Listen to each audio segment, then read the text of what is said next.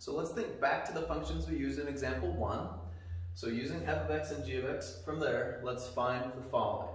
So f of g of 2. So what we're saying is g's output of when we plug in 2 is now the input of f. Here's how I like to lay this out, just to make it very clear.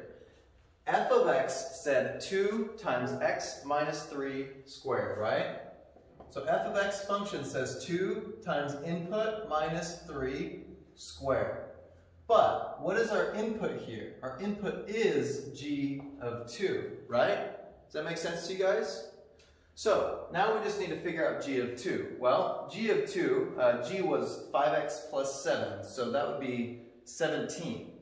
So this becomes 2 times 17 minus 3 squared which is 2 times 14 squared. And 14 squared is um, 140 plus 56, so 196. And 2 times 196 is 392, I believe. Okay, so there's f of g of 2. Why don't you go ahead yourself and pause the video and do g of f of 2. Let's see if they're the same like we talked about before, if we just flip it around. So remember, the g function, right, is 5 times the input plus 7. And our input is f of 2. So, um, f of 2, if we plug 2 into the f function, uh, we actually get 2 again. And 5 times 2 is 10, plus 7 is 17. So guess what? 392 and 17, definitely not the same thing. Again, I want to reiterate, if I reverse this around, they're not going to give you the same result. Another quick thing you could add into this, just to use those other, uh, uh, other ways of viewing this, in case this is more helpful for you, is just think we take 2 and pass it through G, and then pass it through F. So if I take 2 and apply the G function, I get an output of 17. And now that's my input into the f function, which gives me 392. And then similarly here, but we're applying f first and then applying g to that. So if I take 2 and apply f, it's 2 again. And if I plug that into g then, I get 17. So those are just two ways of tackling, calculating those specifically.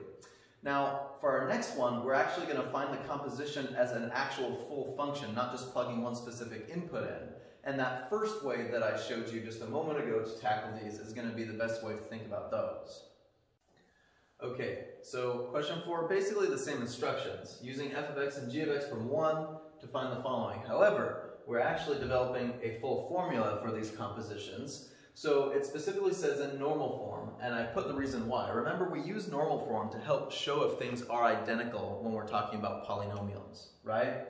So the reason why I'm wanting to put it in normal form right now is to actually prove they're not equal. And if you remember, we stated that, um, well, we plugged in numbers in both directions and we saw the answers weren't the same, but we can actually algebraically show that if you reverse the, the direction of the composition, that the actual function itself is not identical, just overall. So I re rearranged this a little bit for myself because I think it'd be easier to use all the space here and here for these. So let's go ahead and start with this f of g of x, okay? So remember, g of x is my input into f. So we have to start with f as the overall function. And remember, that means 2 times the input minus 3 all squared. Well, our input is the entire function g of x. So just think of it like plugging that function's name into f. But what is g of x? It's 5x plus 7 and then minus 3 squared. And actually, it might help us to color code this for, for these two steps so that we remember, we can see exactly what, what we did there, right? So f of g of x means that I plug that in as the input. Now, at this point, all we've done what we needed to do. This is the composition function. But since we want to try to prove that these aren't the same as each other, let's actually do what we said and put it into normal form. Um, so this becomes 2. 5x plus 7 minus 3 is 5x plus 4 squared. And remember, this 2 can't distribute yet. We have to square this. So it's going to be 25x squared plus 40x plus 16. If you did an expansion box or whatever, if you're doing this on your own, then that's what you would get. And now we just double all that. So this becomes 50x squared plus 80x plus 32. And there's my final composition of f of g of x in normal form. So go ahead and pause, and why don't you try to tackle g of f of x right now and putting it in normal form. Okay, just to check our work. Remember, we put f of x as the input into g. So g says 5 times input plus 7, and f of x is our input, right? So let me just replace f of x with the actual rule. And luckily, we've already done the work for making this in normal form before. So we know it's 2x squared minus 12x plus 18. So if I multiply the 5 in and then add the 7 and combine like terms, then here is the rule in normal form for g of f of x. And you can clearly see that these two polynomials are not identical to each other. And again, we've reiterated that function composition is not commutable. If you remember the commutative property of like multiplication, for example, for numbers, 5 times 2 equals 2 times 5, we can reverse it. But for functions, uh, there is commutative rule for multiplication and addition.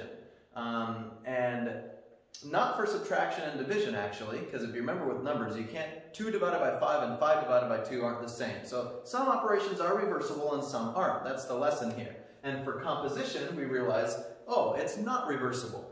Uh, let's look at a few more things with composition before we wrap up. Okay, so for wrapping up today, um, you can add this into our other list of side notes now if you want, or just make its, its own. Uh, but there is a notation for compositions that is not the same as this. Uh, this f of g of x is kind of meant to specify a specific input uh, for it, or g of f of x. But sometimes you'll also see this notation. It's a little, it's a little circle. It doesn't, it's not multiplication. It's a little open circle, and I, some, it's f of g. That's just how you read it. Uh, sometimes we call this the fog and Goff notation, so you can refer to that if you want. But just know that if you see fog, it just means f of g of x. It's just says the same thing. This specifically just refers to the function itself, and this one kind of specifically is for you know plugging in inputs. But I will use this more often, but you'll probably see this used, I think, in our book more. Um, last question to tackle for this lesson. Um, we see, we know that in general we've seen that f of g of x is not equal to g of f of x. But let's just say we had a function, let's just say a basic one, 2x minus 3. Can we find a g of x that this does work with? What we're saying is, if we're given a function, can we find another function that actually it, it, we can reverse the composition and get the same thing with? Um, a lot of functions we can do this with, and this is just getting our thinking going for future lessons we're going to be studying soon. Um, let's play around with this a little bit. Okay, to wrap up for the day, another thing you can add to your list of side notes here um, is just a new notation actually. So we've used f of g of x and g of f of x to represent the composition in the two different orders. Um, you will also often see a notation and they're equivalent. Uh, I call this fog notation or goth. It's a little open circle. It's not like a O, it's a little open circle. And be careful, it's not multiplying. It just means the composition, okay? This one is, meant, this notation is meant to specify like that you can plug an input in. This is just often used to refer to the function in general, but they're interchangeable with each other, okay? So if you see fog, it's the same as saying f of g of x, and then the same in the other direction. So let's move into one last example that's going to lead into stuff we're going to be studying soon. We've seen that it's definitely not true that f of g of x and g of f of x are the same thing. They are not equal. However, sometimes if we're given a function, we can figure out another function that it does work for. It maybe doesn't work for any two random functions you choose, but some functions have their own match that make this happen. So, um, I've given you two functions that actually do work for this. Again, remember, most functions, they don't, but there is a function that will match a lot of functions, right? So this is one where you can actually do it yourself. Go ahead and calculate f of g of x and then g of f of x and show that they're actually equivalent. And then we'll just come check our answers together. Okay, so uh, I actually added a little side note here. So this generally doesn't work, right? But sometimes it does. So f of g of x, right?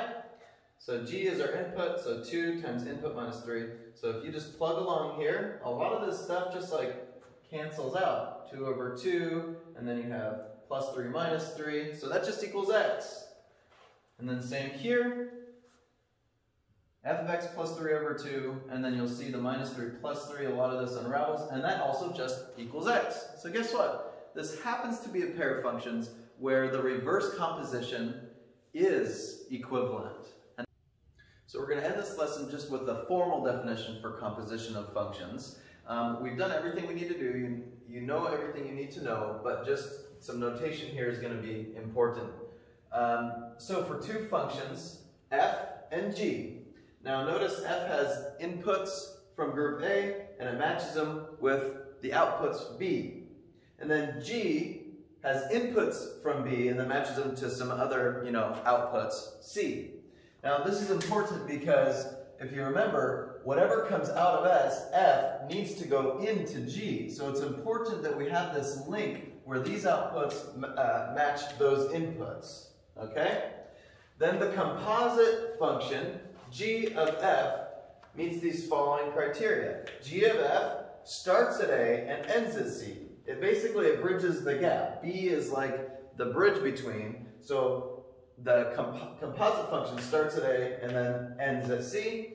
And then we already mentioned this. G of f of x is the same as just saying that. Okay? So that's completely it for this lesson. Happy math. We'll see you next time.